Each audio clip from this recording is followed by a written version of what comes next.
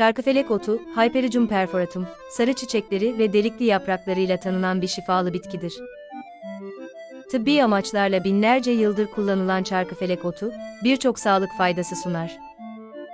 Çarkıfelek otu, antidepresan etkileriyle bilinir. İçerdiği bileşikler, beyindeki serotonin, noradrenalin ve dopamin gibi nörotransmitterlerin düzeylerini etkileyebilir.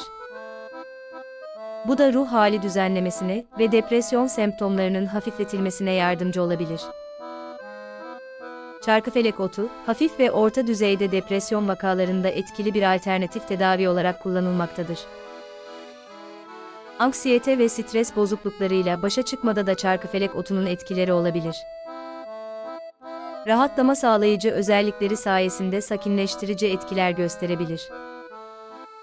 Stresin neden olduğu huzursuzluk, endişe ve sinirlik hali üzerinde yatıştırıcı etkileri vardır.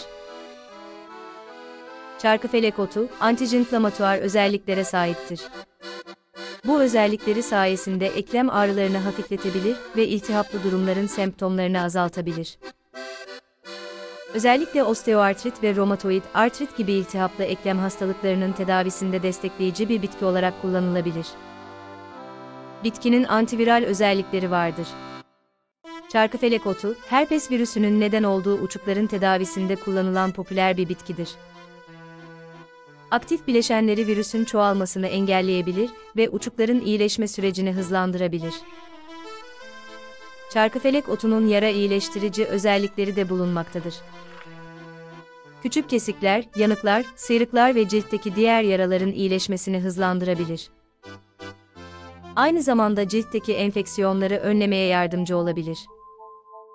Çarkıfelek otu çayı, sindirim sorunlarının hafifletilmesinde kullanılır.